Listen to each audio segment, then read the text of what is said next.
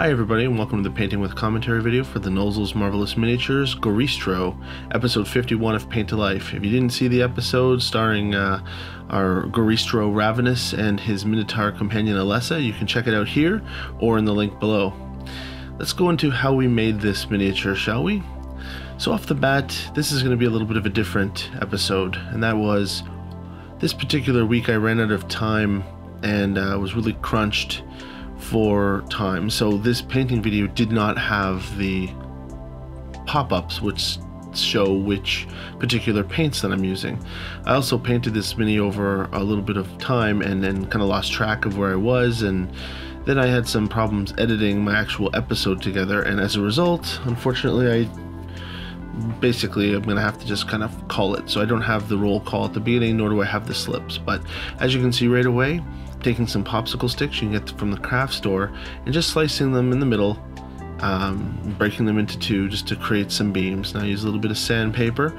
I think it's regular grit, nothing fancy, just to uh, get some of those slivers off uh, so as not to injure myself while working with it. And what you're left with are these little beads. Now, uh, not beads, sorry, beams. I'm using three different contrast paints when I'm making these beams. Uh, Cygor Brown, was one of them. And as I said, I'm going to do this. So we have Wyldwood, Cygor Brown, and Darkoath Flesh are the three different colors. Wyldwood is the darkest, Cygor Brown is the meteor one, and Darkoath Flesh is the lightest. And um, by, by, by applying them, see there's the Wyldwood, it goes on very, very dark, and the three examples I have at the top. By splitting it out this way, I have three different colors of wood grain. Um, the Cygor is almost black. The, the wood grain doesn't show through that all that well, but the um, brown and the Darkoath does nicely. Those are all Citadel contrast paints. So uh, if you're ever going to paint wood and you want to kind of a wood grain showing through, uh, there's a way to do it. Of course, you can test this out on your own first to see which color looks best. You know, if you like the darker wood, the Wyldwood, you could thin it out with some water or some contrast medium to let you have that rich, dark, what is that, coffee like mocha coloring while still letting some of the um, grain show through. And of course, the darkoath flesh, which is almost like a fleshy as it is, shows through just nicely. So now I'm applying these um, together to make a frame. So I've, I've, tested it there. They're just loosely put together, and I'm starting by making this little vertical piece, which is going to form as the um, like the lattice for the pieces. So I'm using lots of hot glue to assemble these. Don't worry about uh, the glue, we can paint over that later.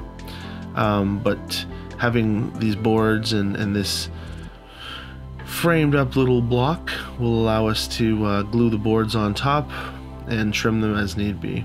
Using a knife, I'm cutting off any extra hard glue. Now I also know that I'm going to need to have um, a banister or something that the uh, rider is going to be able to, like this is like a table, so I'm putting these uprights in here I'm arranging them accordingly, cutting them to size with my snips, and I'm going to put the boards around it. the idea I had for this came from the fact that the Goristro is a siege monster, and in some of the articles I read, you know, they say the biggest Goristros can be 200 feet tall. Like, wow, that's insane. And there's entire villages of creatures living on them, and I thought that's pretty neat. Um, so I said, well, what if it was just a regular size Goristro? Because that's my mini. But I do want something to ride it. So the idea of this battle platform kind of came to pass. You know, I'm making it out of wood that Alessa, Alessa would have found in the abyss, kind of whips it together, and as a result, you have this mobile platform. Now I'm alternating my colors. There she is in her unpainted form, going on there. And, uh, you know, I'm not leaving much space between each board. I'm kind of keeping them tight, but that's up to you. In fact, this is the first time I tried actually creating something for a Paint to Life episode out of scratch other than like clay or, or whatnot.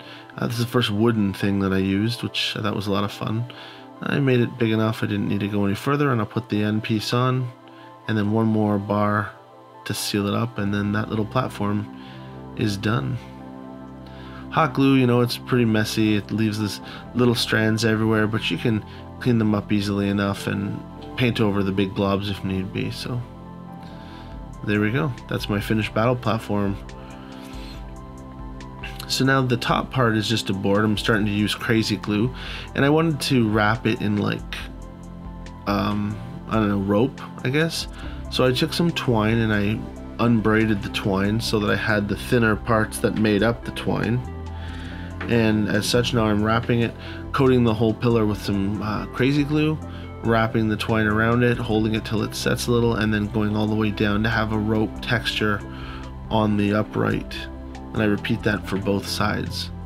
Um, not necessary and maybe a little bit weird because I mean if you're putting it together with stuff you'd find maybe you wouldn't have that but by the same token I think it looks interesting and it makes it look like it's a little bit more um, uh, effective than just being wood also you saw there I used a lighter to burn and singe off the little teeny hairs on the rope and the twine so off to our Goristro so this is the first color that I'm using on him and this is our base Bugman's Glow. So, as followers of Paint to Life who watch this know that I've got my airbrush now and I like to use it for basing of my minis. Uh, I could have just as easily put this on with an airbrush. I'm sorry, with a brush, a regular brush. And I will say that as I, the more and more I use my airbrush, uh, you know, it's a work in progress. I really enjoyed. I'd recommend anyone who's interested in mini painting to make the splurge to buy a little compressor and get an airbrush. Uh, it, it's a lot of fun. So I went on a little too light on my first coat.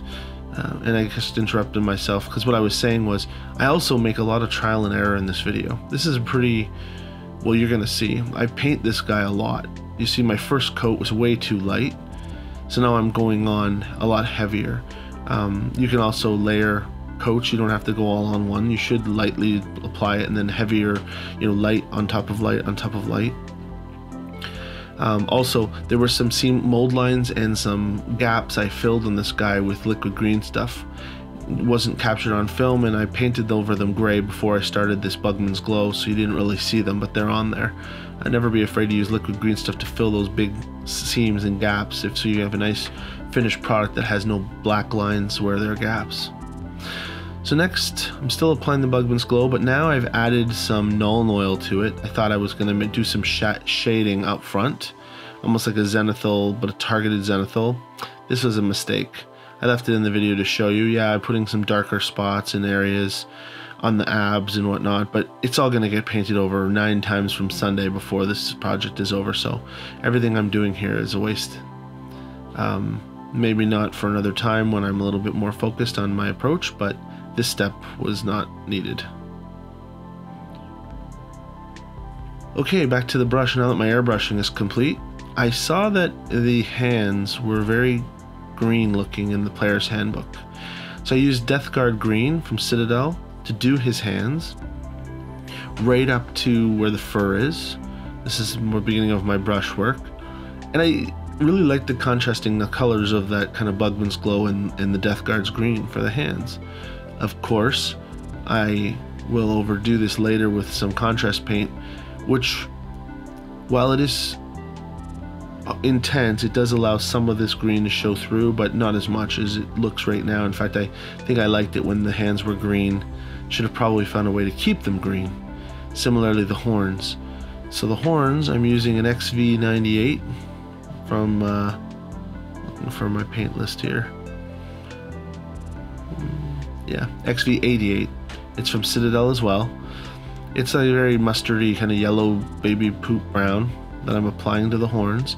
Now this is the base layer, so it's it looks very primary. You know, you got your basic colors with no layering, with no whatnot. I, I really like using contrast paints to, you know, contrast paints on their own are okay, but when used with different colors, they give you all kinds of different options. It's like a shade with pigment and um, that's my favorite part about contrast paints the 32 in the line combined with the you know 150 of the citadel paints lets you have a, quite a variation of different colors you can achieve as we'll see here all right now I'm painting all of these individual little bony parts. I'm using Deathclaw Brown. Again I'm pretty sure that the contrast paint I'm using later was too intense and probably overkilled this. Um, I can tell you in advance that I'm going to be using Cygor brown contrast paint later, but I really should have thinned it out with some water or contrast medium because it's just going to destroy all these little base colorings. It's too dark and it blends them all and I'm sure that they do have an effect, but unfortunately, all this work also is kind of going to get overdone later. Hooves, um, these are just your standard. Uh, what color did I use for those? Administrative gray from Citadel. And now onto the gold bands. This is a Liberator Gold. I like this gold color. Uh, because it's not so shiny. It's a little bit more um, brassy than gold, as an Auric Armor Gold, for example. This is nice and brassy, and when I apply my shade to it later, it'll make it even look more dirty and whatnot. Inside his mouth, we're going to use a contrast uh, paint, the black one, uh, which I didn't put in my paint list, but whatever the black contrast mouth paint. I like the contrast paint for mouths and holes like that because it leaves a little bit outside that will uh, retain some de different depths of darkness instead of just being this black hole. Okay, I'm trying to see the color I used on his face here. This is Knight's something. Qu Knight's Questor Flesh. Didn't write it down, but Knight's Questor Flesh with a Kislev Flesh layer on top. So the Knight's Questor, I apologize if I'm saying that wrong, but that's what the, the original color is, on top of the Bugman's Brown, and now I'm putting this on top, which is very intense. You can see it looks a little clown makeup-y. The Knight Questor went nicely on the Bugmans, and then this uh, is pretty intense, but my solution to cut it is next in the next step here. Let's take a look what happens. So I put the raised areas with this Kislev flesh on top of the Knight Questor's flesh. But now he looks like he's wearing Joker makeup. So let's grab some more of the Bugman's... Oh, we're coming back to that, okay. So this is just a little bit of burgundy on his gums. Uh, not the teeth, just the gums. So that's just a... Any kind of burgundy will do. It's a very small. You can even use red if you wanted. Um, I don't like red. I wanted a more pink. Actually, it's pink horror. My bad. Pink horror is his gums. But as you see, his the layering is really intense on his face, and I said, oh, that's not going to work. So I go back to the Bugman's Glow and I cut it with extra water just to make it a little extra watery, and I apply it to bring all those flesh tones with the undertone Bugman's Glow, and that kind of seals the deal. So now it's time for the eyes. I use a little bit of Troll Slayer Orange, Fire Dragon Bright, and Flash Gitz Yellow in synchronous, uh, or not synchronous, but in layers.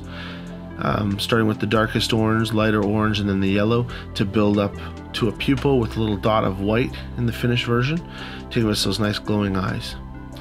So now we're using a contrast paint that's Agorath, Aggaros Dunes you if you watch Paint to Life all the time, you'll see I, I do like the Aggaros Dunes. It's got a nice yellow brown tone to it, and applying it on that XV88 really gives me a cool um, dark brown or a brown, but it leaves those nice detail lines, and um, because it's somewhat transparent, that yellowy brown comes out through it, and they look more like horns. Make sure you get underneath.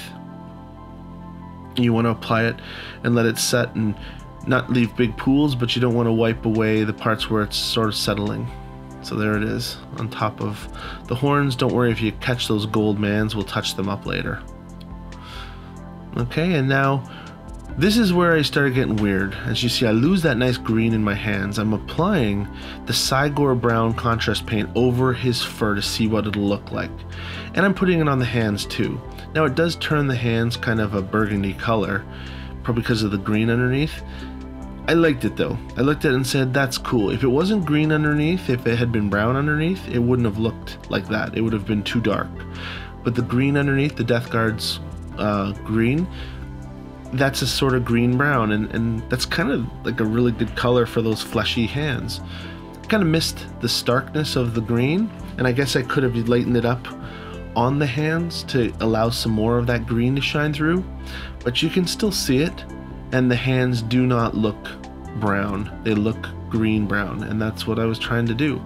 And I looked at it and see, well, how does it look? I sucked up some of that extra in the ponds. How does it look on the fur? And I said, oh, that's really good. I'm going to put it all over the fur. This is why all that extra work that I did is coming off. You know, like that when I said I mixed in some Nuln Oil with the um, Bugman's Glow to paint his skin, that's all going to get overwritten here. All these little things that I did with Doombull Brown on his back, they're all going to get painted over with this Cygor Brown, and um, they all come out much darker. I have to repaint them all. And again, lesson learned. Even though the ab work I did with that, see how the different abs showed was nice, it's all going to get lost here. And I'll have to use dry brushing later to bring those abs back out. I don't know if I would argue that it's transparent and it's see you can still see it through. I'm pretty sure the Nuln Oil mixed with the Bugman's Glow you can't see through in this. It's a lost step and it was a waste of time. But you know, this is when you push along and you paint and you figure things out as you go. Uh, make sure you don't. I will say this, you know, it's a big model, so you're painting down his leg. Don't leave a big pool of it on his shoulder while you go down to do the leg. Make sure you're constantly spreading it out. You don't want it to set and dry and leave a big cakey solid section where you didn't spread it out fast enough. You want to push it all over the place so it doesn't settle and pool. See his back and his little shoulders a little darker? That's probably where it was. Now I missed all these little bones that you can see. They got super dark from the Cygor. I have to retouch them up again. Um, knowing full well I'm going to put the platform in his back, but that's okay. I'm going to get them ready. So back on with those little bones, and they're going to get painted over yet one more time. Now this is my secret for those bands. It's already Liberator Gold, looks great. It's not really a secret, who am I kidding? It's just um, a shade, and it's called Reikland Flesh Tone. If you have it in your arsenal, it's very similar to Agrax Earthshade, but it's a little more um, red slash brown. When you apply that to the Liberator Gold, it gives a nice tarnished, dirty gold look. Liberator Gold already looks pretty cool, but by applying that, it just makes it look less treasury and more like dirty gold. So now we're into the dry brushing of his body. I'm using Vermin Lord Hide here. And realized, geez, that's about the same color as the Cygor Brown. So then I switched to Ryza Rust. And that worked out nicely. See how orange it is, but see how it's pulling the top levels of the furs up and going heavy on the abs gently to pull up the um, the definition of those ab muscles. You see, all that darkness we've stacked up is now showing nicely. Just make sure you apply it to the top layer. And I know it's super orange and all, but that's okay because that's kind of the color of the Goristro anyways. And um, all of our undertone with all that Cygor brown and the Bugman's glow is still there, and the orange is just on top to give your, your layers of fur. And I like it. Now I'm putting some something on those little bony things. Unfortunately, I can't see the. Maybe it's Agrax Earthshade, or or it might be no, it's the yellow one again. Aggaros Dunes. That's what I'm putting on there. It doesn't matter.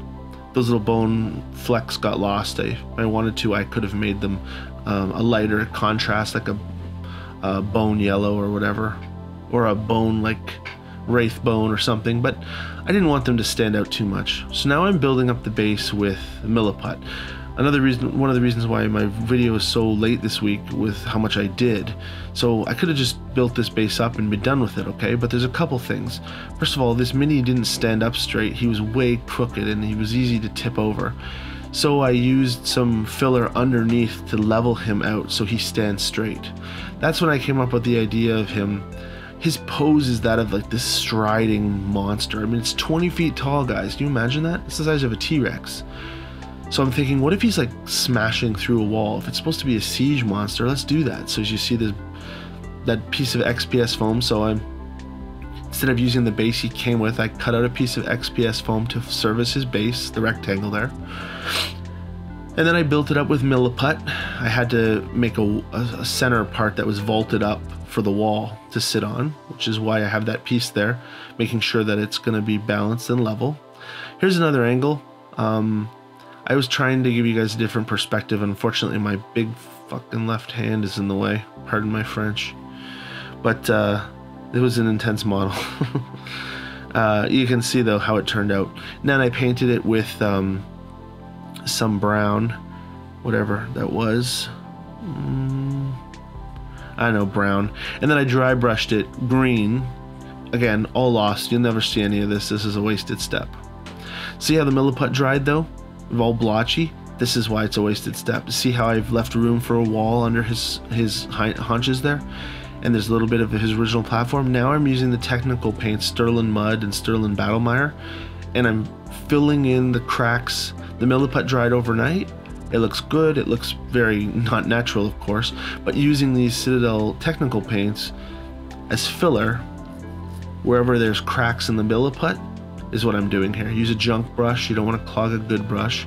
And those flat surfaces, I know I've left myself for a wall. And that's what I do. Hence why painting it brown and then dry brushing it green was a waste because it just gets completely obliterated by this stuff. But that's okay. Now it's time to make the stones. So I mixed, these are just craft paints, black and gray. I didn't want them to be too dark, I didn't want them to be too light. So I used some craft paints, and then I used um, my foam cutter to take pieces of XPS foam and cut them into rectangles and then individual stones. Now the stones are not perfect squares or rectangles, I should say. Some of them are trapezoidal. Trapezoidal? Is that a word? It is now. Anyways, then I got all messy painting them up with this like a prime, okay? And here's what they look like when they were all out.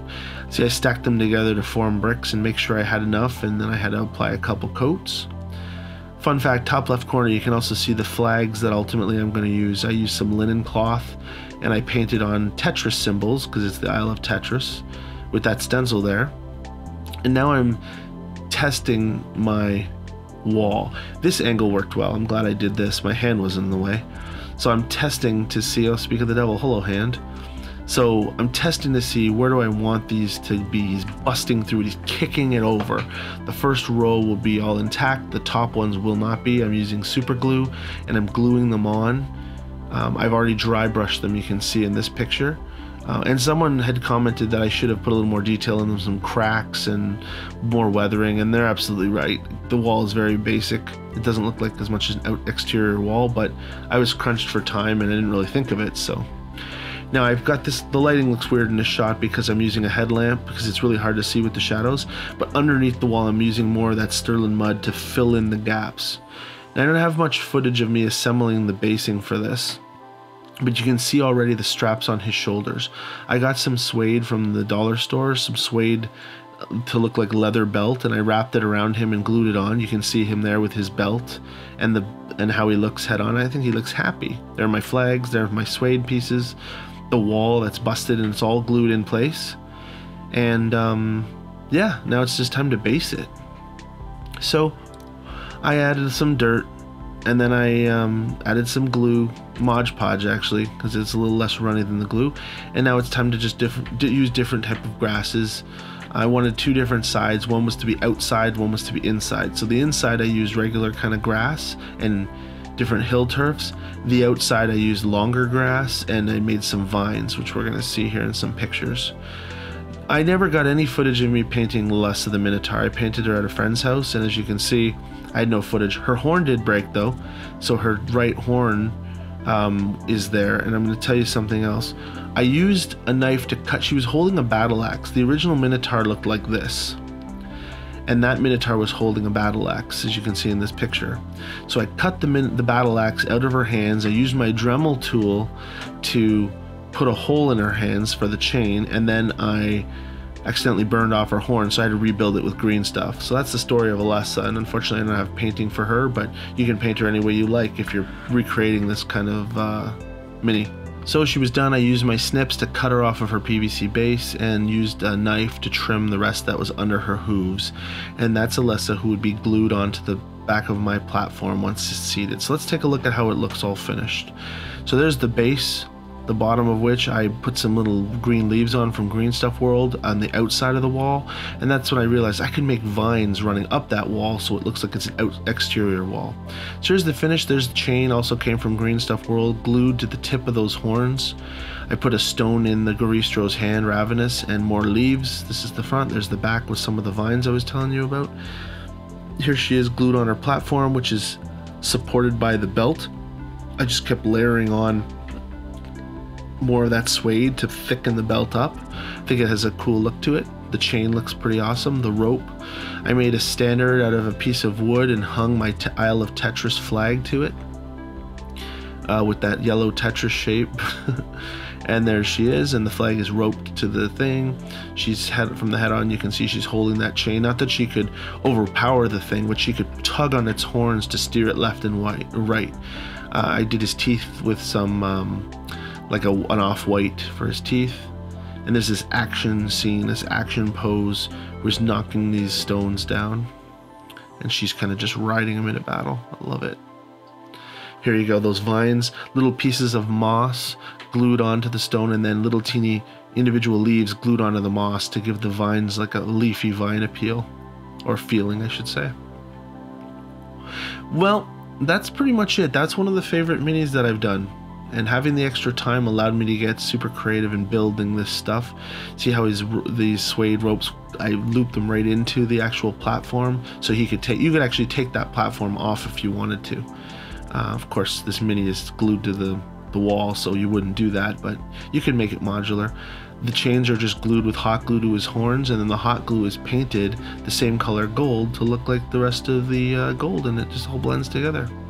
Anyways, that's Ravenous and Alessa. I hope you liked this video. Sorry I was missing the title cards. Let me know in the comments below if you've actually missed them or if me just calling the paints was good enough. I'm not trying to be lazy, but it does take me a lot of work to make Paint to Life episodes, and there's no sense doing the extra stuff if nobody uh, is, you know, cares. But mind you, I'll probably still do them as normal next time because I am a bit of a completionist and I like to keep going the way I start. Anyways, I hope you enjoyed this uh, episode. I hope you enjoyed the episode. If you didn't watch the episode, go check it out right now. My storytelling is my my passion, and, and I want you guys to appreciate not just the finished paintings, but the actual stories as well. So that's all I have for you tonight. I hope you had a good time. Hope everyone in your family's safe. I'm GM Atank. Wash your hands, people.